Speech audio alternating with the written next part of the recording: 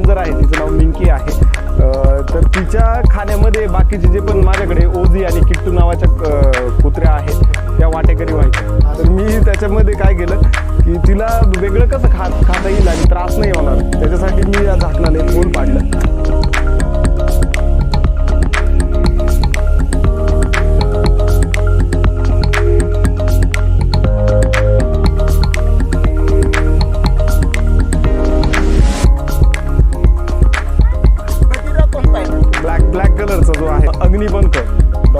जे अब्दुल कलाम यांचं. त्याच्यातलं तर मला काही ओळी अजूनही आठवतात. बऱ्याच वर्षांपूर्वी मी ते वाचलंय की देवाने तुम्हाला वचन दिलेलं नाहीये. की आकाश नेहमी निरभ्रच राहील. देवाने तुम्हाला वचन दिलेलं नाही आहे की तुमच्यासाठी परिस्थिती अनुकूलच राहील. परंतु देवाने वचन दिलेलं आहे. पावलापुरता प्रकाश आणि श्रमानंतर विश्रांती. तर तुम्ही एक एक एक एक पाऊल टाकत जा. तुम्हाला पुढचं पुढच्या गोष्टी हळूहळू हळूहळू उलगडत जातील.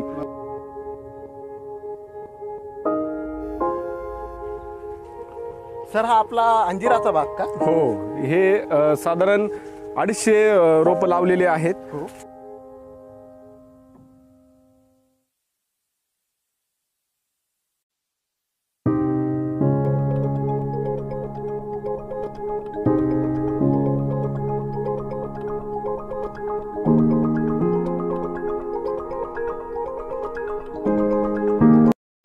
नमस्कार शेतकरी बांधवांनो. मी पुन्हा एकदा तुम्हा सर्वांचं तुमचा शेतकरी मित्र प्रसाद आव्हाड तुम्हा सर्वांचं पुन्हा एकदा अग्रप्रधान यूट्यूब चॅनलमध्ये मनस्वी स्वागत करतो. शेतकरी बांधवांनो एखादा तरुण उद्योजक शेतकरी आपल्या मनामध्ये विचार आणतो नवपरिवर नवपरिवर्तनाची वाट पकडतो. आपल्या शेतीतून शेतीला पर्यायी साधन देऊन कृषी पर्यटनासारख्या क्षेत्रात पदार्पण करून एक चांगला रोजगार स्वतःसाठी आपल्या कुटुंबासाठी आणि अन्य कर्मचाऱ्यांसाठी निर्माण करू शकतो. आणि असा निर्माण केलेला रोजगार तो समाजाच्या उपयोगासाठी आणू शकतो. जनसामान्यांसाठी शेतकऱ्यांसाठी आणि बाकीच्या नागरिकांसाठी शहरांमधल्या नागरिकांसाठी जे थोडे थकलेले आहेत शिनलेले आहेत अशासाठी एक चांगला शांतीचा निवारा निर्माण करू शकतो. अशात शेतकऱ्याची गोष्ट मी आज तुमच्यापुढे घेऊन आलेलो आहे. अशा शेतकऱ्याला आज आपण भेटण्यासाठी आलेलो आहे. मी श्री रमेश मोगल सरांचं आपल्या यूट्यूब चॅनलमध्ये मनपूर्वक स्वागत करतो. सर आपण खूप चांगल्या प्रकारचा हा परिसर सजवलाय नटवलाय. ही तुमची कल्पक बुद्धिमत्ता आहे. मी तुम्हाला विनंती करतो का आपल्या शेतकऱ्यांना या प्रवासाकडे तुमची वाटचाल कशी सुरू झाली हे एकदा सांगावं. नमस्कार सर्वांना. सुरुवातीला मी आधी नोकरी करायचो पण मग नोकरीतल्या मर्यादा आणि माझी स्वप्न याचा काही मेळ बसेना. तर मग पत्नीशी चर्चा करून आम्ही कृषी पर्यटनाचा व्यवसाय निवडला. की जो समाजहिताचा असेल आणि त्यातून आमचं आरोग्य जपलं जाईल आणि आम्हाला आर्थिक फायदाही होईल. आणि मला निसर्गाची आवड आहे तर निसर्गाची आवड पण जोपासता येईल. तिला स्वयंपाकाची आवड आहे. तर स्वयंपाकाची आवड पण आपल्याला जपता येईल. तर ह्या दृष्टिकोनातून आम्ही ह्या व्यवसायाची निवड केली. बरोबर. आणि गेले तीन वर्षापासून आम्ही याच्यात कार्यरत आहोत. आणि आता बरेचसे लोक समाधानाने इथे येऊन आम्ही बनवलेल्या पदार्थांचा आस्वाद घेतात आणि निसर्गही अनुभवतात. यात आम्हाला खरोखर आनंद वाटतोय. नक्कीच. सर आता चला आपण टूरवर निघू. आपल्या सगळ्या फार्मची आपल्या प्रेक्षकांना सुद्धा टूर घडून आणू. आपला अंजिराचा बाग का? हो हे अ, साधारण अडीचशे अ, रोपं लावलेले आहेत. हो. अ, ही व्हरायटी आहे एलिफंट इयर लोकली ओळखली जाते. बरोबर. आणि हिचं बॉटॅनिकल नेम आहे फिकस ऑरिक्युलाटा. हो. तर आपल्याकडे नाशिक भागामध्ये एक वेगळी व्हरायटी बघायला मिळ- मिळते अंजिराची. त्याच्यापेक्षा हिच्यामध्ये काही गुण वेगळे आहेत. हिच्या खोडांवरती फळं येतील. बरोबर. आणि फळांची साईज थोडी मोठी असेल की जी प्रोसेसिंगसाठी उत्तम समजली जाते. बरोबर. आणि सर इथं आपण बघू शकतो का ह्या प्रकारचे असे हे बघा. सफेद हे जे असे डाग आलेले हा, हा, हे काय कारण आहे नेमके? अं, हे अं, ह्या पानामधलं पाणी एकदा निघून गेलं हो. की त्याच्यातून अं, उरलेल्या क्षाराचे हे डाग आहेत अं, ट्रान्सपिरेशन मुळे असं. हो हे ट्रान्सपिरेशन मुळे होत आहे म्हणजे इथे कोणत्याही प्रकारचं केमिकल किंवा नाही नाही नाही नाही. काही हे फवारणी केमिकलचे डाग नाही आहेत बऱ्याच जणांचा तो गैरसमज होतो तर अं, याच्यासाठी अं, मी तुम्हाला अं, एक अं, माझं दाखवतो मी मोहोळ दाखवतो तुम्हाला हं? या इकडे नाही. कार्बन वाढू शकेल. हो इथे पडणारा सगळा जो पालापाचोळा असेल काडी कचरा असेल. तो या झाडांच्या बुडाशीच मी टाकतो की जेणेकरून तिथेच कंपोस्टिंग होईल आणि त्याचा फायदा झाडांना न्यूट्रिएंटसाठी होईल. इकडे मधमाशांचं पोळं दिसतंय. तर आता हे याचं साईन आहे की इथे कोणतेही पेस्टिसाइड्स आपण आणि सर तुम्ही खूप चांगला पेरूचा बाग पण लावलेला दिसतो हो हो हो. ही पेरूची कोणती व्हरायटी आहे सर आपली? पेरूमध्ये लखनऊ आहे आणि ललित नावाचे पन्नास एक रोपं लावले मी. पण जास्तीत जास्त भर लखनऊ नावाच्या व्हरायटीवरतीच आपण दिलाय. कारण ती खाण्यासाठी गोड असते आणि लोकांना ती माहिती आहे. लोक लखनऊ पेरू म्हणून ते इथे आवर्जून खायला येतात. त्यात आपण ऑर्गॅनिक पद्धतीने करतोय म्हटल्यानंतर त्याची टेस्ट पण उजवी असते. आणि लोक त्याच्यावरती विश्वास ठेवतात. बघ वापरत नाही. बनवलेलं आहे. हो. आता इथे मी तारीसाठी इथे स्टे दिलेला होता.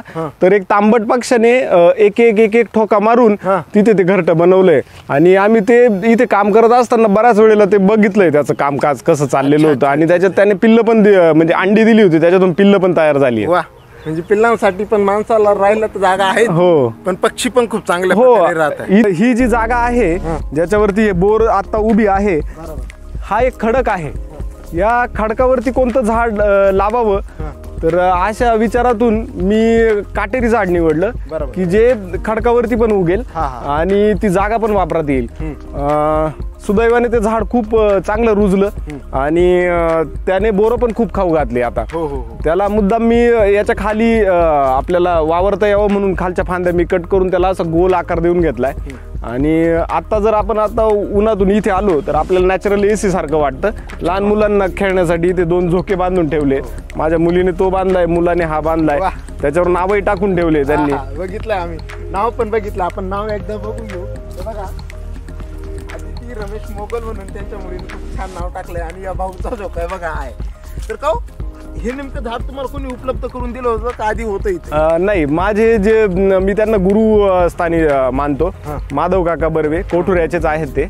तर आयुष्यभर म्हणजे आता त्यांचं वय साधारण पंच्याऐंशीच्या पुढे आहेत ते त्यांनी आयुष्यभर सेंद्रिय शेतीचा प्रचार आणि प्रसार केला इतरांना माहिती दिली बरीचशी मदत केली लाखो झाडं लावली भारतभर. आजही त्यांचं नाव बऱ्याच ठिकाणी न, ऐकवात येतं. तर त्यांनी मला हे रोप दिलं की हे खास बोरीचं झाड आहे तू ते जगवशील असं मला वाटतं म्हणून त्यांनी इथे मला ते लावण्यासाठी दिलं. आजही ते अधूनमधून भेटीसाठी येतात काही बिया घेऊन जातात त्याचे रोपं बनवतात आणि त्याचा प्रसार अजून सुरूच आहे. म्हणजे बर्वे काकांचं खरं आभार आहे. हो. हे मला एक गोष्ट वाचण्यात माझी आली होती का खूप खूप काळापूर्वी ऋषी पराशर म्हणून होते. त्या पराशर ऋषींनी कृषीवर कृषी पराशर म्हणून एक पुस्तक लिहिलं. त्या पराशर ऋषींचेच तुमच्या आमच्यासारखे हे शेतकरी अंश आहोत. आणि त्याच्यामधूनच हे सगळं उभं राहत आणि ते आपण चालू ठेवायला पाहिजे. हो. आता जर तुम्ही बारीक जर ऐकलं तर एक तुम्हाला आवाज येत असेल. हा तांबट पक्षाचा आवाज आहे. हो हो हो. हो. नक्कीच अशा पक्ष्यांना पण अं, खूप चांगल्या प्रकारे राहण्यासाठी ही जागा. आणि प्रेक्षकांनो तुम्हाला जर या सगळ्या मौजीची जर अं, मौज घ्यायची असेल तर मी आपल्या डिस्क्रिप्शनमध्ये या जागेची लिंक प्रोव्हाइड करून देतोय. किंवा सरांचा नंबरही मी देतोय. तुम्ही त्यांच्याशी कॉन्टॅक्ट करू शकता. या जागेला भेट देऊ शकता. नक्की या बरं का खूप चांगलं आहे आणि खूप उत्कृष्ट जागा आहे. हम्म. खरंच छान आहे बरं का. आणि तुमच्या विचारावरून असं दिसतंय का वाचनाचा तुमच्यावर चांगला प्रभाव दिसतो. हो हो बरोबर. मी खूप लहान असताना माझ्या वडिलांनी मला पुस्तक वाचत जा असं मला ते नेहमी म्हणायचे. त्यातून मी अगदी चांदोबासारखे चंपकसारखे छोटे छोटे मासिक असतील किंवा त्यावेळेला आमच्या घरी देशदूत पेपर यायचा. देशदूत पेपरची बालजगत नावाची पुरवणी असायची. अजूनही मला ते आठवते. ते मी वाचायचो. त्याचा मी खूप मोठा संग्रह पण करून ठेवला होता. आणि पुढे जाऊन माझी ती सवय मला कामात आली. पुढे मला जिथून जिथून मित्रपरिवारामधून समजलं की हे पुस्तक चांगलं आहे हे वाचून बघ. तर त्याच्यामध्ये मी कारवरचं एक होतं कारवर नावाचं पुस्तक वाचलं. विना गवानकर मॅडम हो त्यांनी अनुवादित केलेलं आहे की जे एक निग्रो शास्त्रज्ञ होते कृषी शास्त्र शास्त्रज्ञ की त्यांनी क्रॉप रोटेशनमध्ये बरंचसं काम केलं. आणि मायक्रो ऑर्गॅनिझमचा फायदा जमिनीला कसा होतो हे. त्यांनी त्यांच्या बांधवांना समजून सांगितलं. आणि त्यांच्या कार्यामधून त्यांनी अगदी दक्षिण अमेरिकेमध्ये जे पण दुष्काळ पडत होता किंवा खाण्यासाठी जी मारामार झाली होती त्याच्यावरती त्यांच्या प्रयोगामधून त्यांनी बरेचसे सोल्युशन शोधून दक्षिण अमेरिकेला समृद्ध करून ठेवलं. हे. एक पुस्तक आलं त्याच्यानंतर दुसरं एक होतं अग्निपंख. डॉक्टर ए पी जे अब्दुल कलाम यांचं. त्याच्यातलं तर मला काही ओळी अजूनही आठवतात. का बऱ्याच वर्षांपूर्वी मी ते वाचलंय की देवाने तुम्हाला वचन दिलेलं नाहीये की आकाश नेहमी निरभ्रच राहील. देवाने तुम्हाला वचन दिलेलं नाहीये की तुमच्यासाठी परिस्थिती अनुकूलच राहील. परंतु देवाने वचन दिलेलं आहे पावलापुरता प्रकाश आणि श्रमानंतर विश्रांती. तर तुम्ही एक एक एक एक पाऊल टाकत जा. तुम्हाला पुढचं पुढच्या गोष्टी हळूहळू हळूहळू उलगडत जातील. त्याने मानवजातीची सेवाच झाली. हे असे पुस्तकं माझ्या वाचनात आलेले होते. म्हणजे वाचाल तर वाचाल हो ते या माझ्या बाबतीत अगदी खरं झालंय हो मग तुम्ही या सगळ्यातून आपल्या शेतकऱ्याला. आणि जे युवा शेतकरी. जे शेती क्षेत्रात काहीतरी नवीन करण्याची इच्छा धरून काम करतात हम्म. किंवा जे शेतकरीमध्ये खूप दिवसापासून काम करतात हो. अशा लोकांना तुम्ही काय संदेश आपल्या युट्यूब चॅनलला देऊ इच्छित सध्याची म्हणजे उद्योगासारखं आपण करायचंय तर नवीन जे पण शेती करू इच्छित असतील किंवा शेतीकडे उद्योग म्हणून बघणारे कुणी जर तरुण असतील तर मी त्यांना हा बेसिक एक माझा अनुभव सांगेल की आधी हे अर्थशास्त्र तुमचं कागदावरती येऊ द्या. की तुम्ही इनपुट्स किती त्याच्यामध्ये टाकणार आहात. या ठिकाणी तुम्ही गव्हाण केलेली दिसते. हो हो इथे आपण ज्या दोन गावठी गाई पाळलेल्या आहेत त्याच्यासाठी इथे गव्हाण ठेवलेले आहे. आणि इकडे बघा ही जी आपण इथे नाली केलेली आहे. बरोबर त्या त्या नालीतून गोमूत्र इकडे ह्या ड्रममध्ये जमा होतं. बरोबर. आणि ते गोमूत्र शेण डाळीचं पीठ गूळ वगैरे वापरून आपण जीवामृत तयार करतो आणि झाडांच्या मुळांच्या कक्षेत आपण त्याला सोडतो की जेणेकरून त्याची न्यूट्रियंटची सोय होईल. आणि ते राहिला जागा आपल्या कर्मचारी वृंदांसाठी. इथे ते देवीदास म्हणून माझे कर्मचारी आहेत. ते इथे राहतात. त्यांची फॅमिली इथे राहते. म्हणजे एखादा शेतकरी आपल्या उद्योजकतेतून स्वतःच्या पोटाची तर खळगी भरत नाहीच पण त्याचबरोबर तो दुसऱ्या कर्मचाऱ्यांसाठी दुसऱ्या लोकांसाठी खूप चांगल्या प्रकारे रोजगार निर्माण करू शकतो. आणि त्याचं मूर्तिमंत उदाहरण आपले रमेश सर आहे. तर नक्कीच आपण पुढच्या अजून नवीन गोष्टी हो. कैऱ्या पण खूप चांगल्या लागल्या. हो याच्यामध्ये अ, केसर आंबा जो आहे तो जास्तीत जास्त आम्ही इथे प्लांटेशन केलंय. त्याच्यानंतर हापूस आहे. अ, खरं तर मागच्या वर्षी जास्त पाऊस झाला. त्याच्यामुळे त्याला मोहर कमी होता. ह्या वर्षी मात्र पाऊसमान प्रमाणात असल्यामुळे प्रत्येक झाड जवळजवळ मोहरलेलं आहे. आणि आता जो अवकाळी पाऊस झाला त्याच्याने थोडंसं नुकसान झालं कायऱ्या गळून पडल्या. पण मग यातूनही निसर्ग म्हणजे निसर्ग नैसर्गिकरित्याच झाड मात्र बऱ्याचशा कायऱ्या ठेवतो एक किलो जरी काही उत्पादन काढता आलं तर खूपच होईल तुम्ही गहू पण खूप चांगला गव्हाची मला व्हरायटी वेगळी दिसली. हो, हो. गहू- प्रकार नेमका तो? गहू खपली प्रकारचा गहू आहे की ज्याच्यामध्ये ग्लुटेनचं प्रमाण खूप कमी असतं फायबरचं प्रमाण जास्त असतं. याच्याने तो पचनासाठी पण हलका आहे आणि डायबेटिक पेशंटसाठी पण गहू खाण्यासाठी तो उत्तम आहे. नक्कीच नक्कीच. आणि हे काहीतरी वेगळं इकडे. हो हो. इकडे मिलेट्स आपण पेरलेले आहेत. तर राळे हा एक मिलेटचा प्रकार आहे. जुन्या काळी मी राळ्याचा भात खायचो. त्यावेळेला मिलेट्स काय आहे ते माहिती नसायचं. पण मग माझ्या एक ओळखीच्या मॅडम आहेत. त्यांचं एक नॅचरल फार्म आहे. तिथून मला हे बियाणं मिळालं. ऍक्च्युली हे पावसाळ्यात पेरायला पाहिजे होतं. पण बियाणं हातात आलंय. तर ते पिशवीत ठेवण्यापेक्षा मी जमिनीत ठेवू असा विचार केला आणि त्याचा मला फायदाच झाला. हो, हो. आता एका बी पासून एक कणीस. हो. म्हणजे आणि त्या कणसाला बघा तुम्ही किती दाणे आलेले आहेत. हो, हो, हो. तर हे पटीमध्ये वाढतं. हे असं कोणत्याच बिझनेस मध्ये होत नाही की तुमचं hundred times one hundred fifty times असं कोणतंच येत नाही. फक्त जमीन ही एकमेव गोष्ट आहे की जिच्यामध्ये बी टाकल्यानंतर ते शंभर ते दीडशे पटीने तुम्हाला गोष्टी देतात. एकाची शंभर करून देणारी काळी आई आहे. हो हो हो. फक्त गर्भातून आपल्या शक्तीने आपल्याला उपजतपणे गुण काढायला हो. बरोबर. फक्त मग ते कसं काढायचं ते आपल्या हातामध्ये. की ते उत्पन्न कसं काढायचं कशा पद्धतीने काढायचं? नक्की. छान पद्धत. या ठिकाणी आपल्याला आता आपल्या इथे आलेले जे ग्राहक वर्ग आहे जे आता या ठिकाणी फिरले आणि आता जेवण पण केलंय. आपण त्यांना विचारून बघू का नेमकं त्यांना कसं आवडलं. सर तुम्हाला कसं आवडलं नेमकं? उत्कृष्ट जेवण आहे. आम्ही ज्यावेळेस जातो कुठे बाहेर कुठं नाशिक वगैरे तर घरून निघताना ज्यावेळेस वेळ असेल तर निवांत वेळ भेटावा म्हणून ते जेवण करायला. आणि हे घरगुती प्रकारचं जेवण. कुठल्याही प्रकारचा त्रास नाही आणि हायजेनिक जेवण म्हणजे ग्रामीण भागात हे हायजेनिक जेवण भेटणं हे शक्यतो भेटत नाही कुठे. भेटणं म्हणजे चांगल्या प्रकारचं आपलं नशीब मान मानलं पाहिजे. हो. नक्की. तुम्ही आतापर्यंत कोणते कोणते पदार्थ इथे टेस्ट केले मी तर आतापर्यंत तुमच्या रशी पातोड्या हां. शेंगळे केले. परत गुट्ट हां.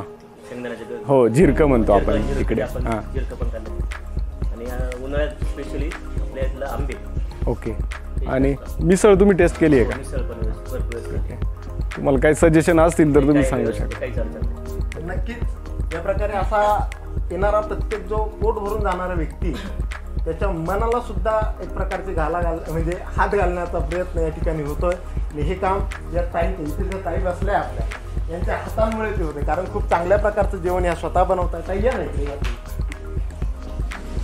कारण कधी पण एखाद्या स्त्रीचा किंवा एखाद्या शेतकऱ्याच्या बायकोचा शेतकऱ्याला ज्यावेळेस चांगल्या प्रकारचा सपोर्ट असतो त्यावेळेसच योग्य कुटुंब योग्य शेती होत असते. आणि ह्या व्यक्तीने तर शेतीला कृषी पर्यटनामध्ये बदलण्याची जी किमिया आहे ती किमिया करून दाखवलेली आहे. त्याबद्दल ताईंचा खरं एकदा मनपूर्वक आभार आहे. आणि आपल्या सर्व शेतकरी भगिनींना पण आपण जर अशा प्रकारची साथ आपल्या शेतकरी तुमच्या स्वतःच्या घरात जरी दिली तर नक्कीच शेतीला उद्योगाचं स्थान येण्याची वेळ आता दूर राहिलेली नाही आणि ती नक्की येऊ शकेल. तर पुन्हा एकदा मी सर्व शेतकरी बांधवांचे त्याचबरोबर आपल्या हा व्हिडिओ बघणाऱ्या सर्व प्रेक्षक वृंदांचं मनस्वी आभार मानतो.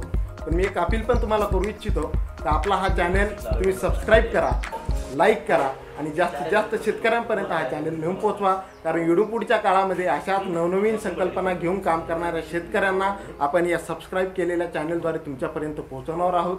ही तुमची जबाबदारी आता का अशा शेतकऱ्यांच्या गोष्टी आपल्या घरात रुजल्या पाहिजेत आपल्या प्रत्येक कुटुंबात प्रत्येक युवानात त्या पोहोचल्या पाहिजे. यासाठी तुम्ही हा चॅनल शेअर करा लाईक करा सबस्क्राईब करा.